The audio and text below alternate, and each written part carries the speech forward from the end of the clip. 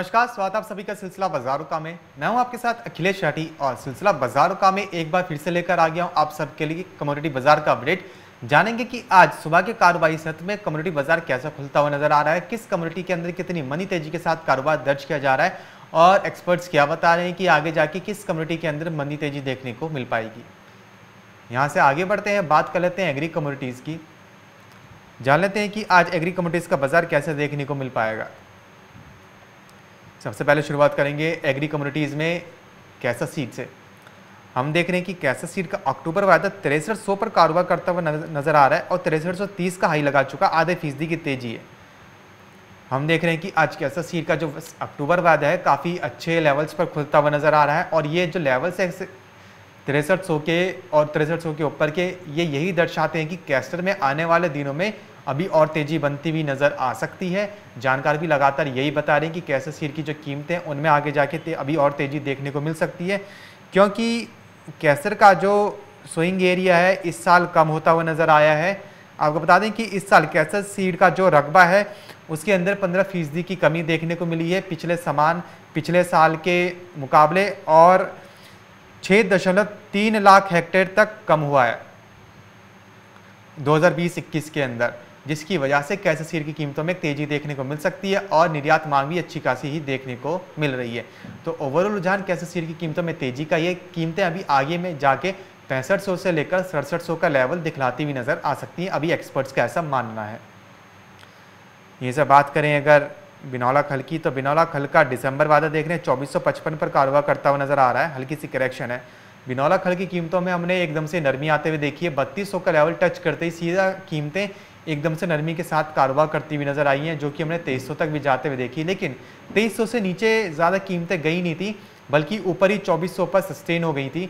लेकिन अभी बिनौला खल में दोबारा वाले, एकदम तेज़ी वाले लेवल्स देखना, अभी उसमें थोड़ा वक्त देखने को मिल सकता है, क्योंकि लगातार मान के चले कि छः महीने से बिनौला खल की कीमतों में हमने तेज़ी ही देखी है। और अब कॉटन के जो आंकड़े निकल के सामने आ रहे हैं कि सप्लाई भी ज़्यादा है और प्रोडक्शन भी ज़्यादा है जिसकी वजह से कॉटन की कीमतों में भी एक नरमी देखने को मिल रही है और उसका असर बिनौल खल की कीमतों पर भी देखने को मिल रहा है। इसी के साथ बात करें यहाँ से अगर मसालों की तो देख रहे हैं कि धनिया का अक्टूबर वायदा आठ हज़ार पर कारोबार करता हुआ नज़र आ रहा आधे फ़ीसदी की तेज़ी के साथ। हम देख रहे हैं कि कल के मुकाबले आज धनी की कीमतों के अंदर आज एक अच्छी खासी तेज़ी बनती हुई नज़र आई है। धनी की कीमतों के अंदर एकदम से उछाल देखने को मिल रहा है। जानकारों का मानना है कि ये एक शॉर्ट कवरिंग मूव है और धनी की कीमतों में अभी इंटरडे में अच्छी खासी तेज़ी भी देखने को मिल पाएगी। बात करें यहाँ से अगर जीरे की तो जीरे का अक्टूबर वादा देख रहे हैं कि चौदह पर कारोबार कर रहा है और चौदह का ही लगा चुका है। हम देख रहे हैं कि जीरे की कीमतों में एक बार फिर से तेज़ी बनती हुई नज़र आ रही है। दरअसल जीरे का जो निर्यात है, उसके अंदर एकदम से उछाल देखने को मिला है और कुछ त्योहारी मांग के चलते भी जीरे की कीमतों में तेज़ी देखने को मिल रही है। बावजूद इसके की जो स्टॉक है, जो सप्लाई है जीरे की, घरेलू बाज़ार के अंदर, हाजिर बाजारों में, वो पर्याप्त है, अच्छी खासी है। आधा माल स्टॉक स्टॉक के पास है, आधा माल किसानों के पास है, जिसकी वजह से देख रहे हैं कि जीरे की कीमतों में तेज़ी देखने को मिल रही है और एक्सपर्ट्स अभी ऐसा बता रहे हैं कि आगे आगे जैसे फेस्टिवल डिमांड बढ़ती जाएगी, जीरे की कीमतों में घरेलू स्तर पर तेज़ी देखने को मिलती रहेगी और इसी के साथ साथ जीरे का जो एक्सपोर्ट है, उसमें भी तेज़ी देखने को मिल सकती है। आंकड़े जीरे के एक्सपोर्ट के अच्छे खासे निकल के सामने आ सकते हैं, जिसकी वजह से जीरे की कीमतों में अभी और उछाल देखने को मिल सकता है। पंद्रह हज़ार के आसपास हम ऑलरेडी देख रहे हैं। हो सकता है कि फेस्टिवल डिमांड आते आते और अगर निर्यात मांग अच्छी खासी बढ़ती है इन लेवल्स पर, ऊँचे स्तर पर तो हो सकता है कि पंद्रह हज़ार का भी आंकड़ा जीरा ये पार कर जाए। इसी के साथ बात करें यहाँ से अगर हल्दी की तो हल्दी का, हल्दी देख रहे हैं कि आज NCDX पर हल्दी इस वक्त जो कारोबार करती हुई नज़र आ रही है, अक्टूबर वादा सात हज़ार पाँच सौ चौरासी पर कारोबार करती हुई नज़र आ रही है। छियासी सौ, छिहत्तर सौ आठ का हाई लगा चुकी है और पौने एक फ़ीसदी की तेज़ी हल्दी के अंदर बनती हुई नज़र आ रही है। हम देख रहे हैं कि आज हल्दी कल के मुकाबले थोड़ी तेज़ी के साथ कारोबार करती हुई नज़र आ रही है। हालाँकि सपोर्ट लेवल पर ही है बाउंड्री लाइन पर ही अपने सपोर्ट लेवल पर, लेकिन कल के मुकाबले थोड़ी बढ़त आज हल्दी के अंदर देखने को मिल रही है।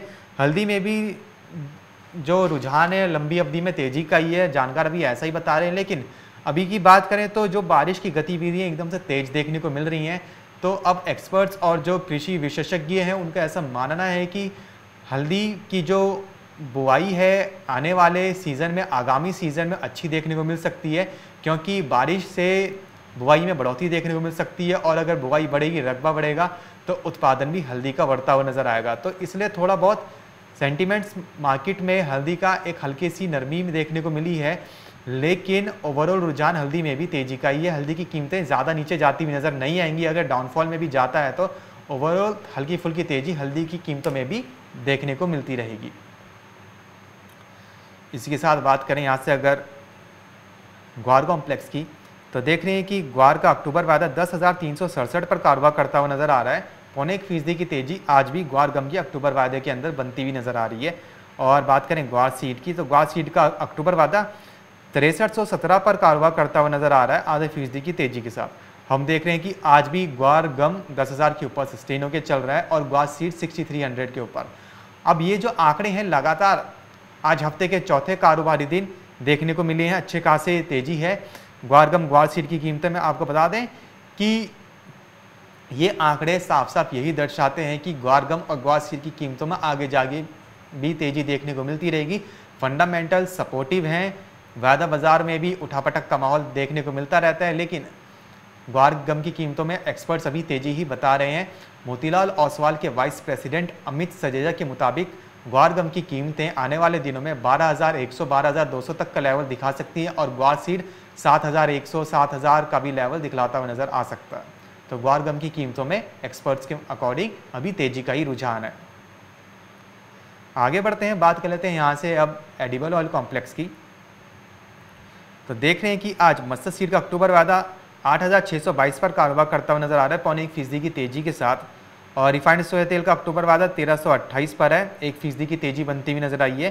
और सोयाबीन का अक्टूबर वादा तिरसठ पर कारोबार करता हुआ नज़र आ रहा है सवा एक फ़ीसदी की तेज़ी के साथ। हम देख रहे हैं कि मत्स्य सीड के अंदर यानी सरसों के अंदर जो हमने 8,800 8,900 तक के लेवल आते हुए देखे थे अब वो लेवल्स देखने को नहीं मिल रहे हैं। ऐसा कह सकते हैं कि सरसों की कीमतों में हाजिर बाज़ार में एनसीडीएक्स पर ऊपरी स्तरों से एक मुनाफा वसूली बनती हुई नज़र आई है। ऊपरी स्तर लोगों ने अपना प्रॉफिट बुक किया है जिसकी वजह से हम देख रहे हैं कि जो सरसों है, उसकी कीमतें थोड़ी बहुत कम होती हुई नज़र आई हैं, लेकिन जो नरमी है, इतनी देखने को नहीं मिली है कि जो मार्केट है, एकदम से क्रैश कर जाए या फिर निचले, यानी कि लोअर सर्किट लगते हुए नज़र आए।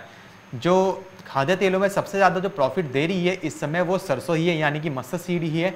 मत्स्य सीड में कंसिस्टेंसी के साथ हमने एक तेज़ी आती हुई देखी है। ऐसा नहीं हुआ है कि ग्वारगम और ग्वार सीड की तरह मस्टर्ड सीड की, यानी सरसों की जो कीमतें एकदम से उछाल मार रही हैं। अगर तेज़ी आती है तो प्रॉफिट बुकिंग भी बनते नज़र आ रही है, लेकिन इतनी देखने को नहीं मिल रही है और ना ही ओवरबॉट होता हुआ नज़र आ रहा है। तो मस्टर्ड सीड का जो वायदा बाज़ार है, वो एक कंसिस्टेंसी के साथ, तेज़ी के साथ ठीक ठाक ही देखने को मिल रहा है अच्छा खासा देखने को मिल रहा है। और एक्सपर्ट्स के मुताबिक सरसों की कीमतों में 9000 तक के भी लेवल्स आने वाले दिनों में देखने को मिल सकते हैं, जिस हिसाब से सरसों की जो स्टॉक है, अब वो धीरे धीरे कम होता हुआ नज़र आ रहा है। पाँच से छः महीने का समय है, अभी सरसों आने में और किसानों ने अपनी सरसों रोक के रखी हुई है। धीरे धीरे मंडियों में लेकर आ रहे हैं, जिससे कि मंडियों में आवक भी कम देखने को मिल रही है। डेली खपत के मुकाबले जितनी पूरे देश में खपत होती, उसके हिसाब से पूरे देश में दैन, दैनिक आवक काफ़ी कम देखने को मिल रही है, जिसकी वजह से सरसों की कीमतों में तेज़ी बनती हुई नज़र आ सकती है। और इसी का नतीजा है कि जो सरसों तेल है, वो महँगा होता हुआ नज़र आ रहा है। हालाँकि सरकार ने अभी वनस्पति तेलों के आयात शुल्क में कटौती की है, जिसकी, जिसका असर भी खाद्य तेलों के बाज़ार पर पड़ता हुआ नज़र ज़रूर आया है। लेकिन जो सप्लाई है इंडोनेशिया और मलेशिया की तरफ़ से सी की, वो भी तेज़ होती हुई नज़र आई, जिसकी वजह से सी का बाज़ार भी कहीं ना कहीं लुढ़कता हुआ नज़र आया था। और देख रहे हैं कि आज रिफाइंड सोया तेल की कीमतों में एक हल्की सी बढ़त बनती हुई नज़र आई है। कह सकते हैं इसको निचले स्तर से खरीदारी देखने को मिल रही है, क्योंकि फंडामेंटल्स इतने कोई ज़्यादा खास सपोर्ट दे, कर सपोर्टिव देखने को नहीं मिल रहे हैं क्योंकि सोयाबीन का भी जो वायदा बाज़ार है अब वो इतना सपोर्ट लेता हुआ नज़र नहीं आ रहा है जैसे हमने पहले आते हुए देखा था कि आठ हज़ार नौ हज़ार तक के भी लेवल सोयाबीन की कीमतों में देखने को मिले थे। उस समय ये खबर नहीं निकली थी कि जो सोयाबीन की सोइंग एरिया है यानी जो रकबा है घटा है क्योंकि बीजों की काफ़ी किल्लत थी लेकिन किसानों ने महँगा बीज खरीद कर भी सोइंग करी है रकबा बढ़ा है और अब सोयाबीन की बुआई जो है वो पिछले साल के रिकॉर्ड लेवल पर ही देखने को मिल पाएगी। तो जिसकी वजह से सोयाबीन की कीमतों में अभी एक नरमी वाला रुख देखने को मिल रहा है और विदेशों के अंदर भी सोयाबीन की कीमतों में एक नरमी देखने को मिल रही है।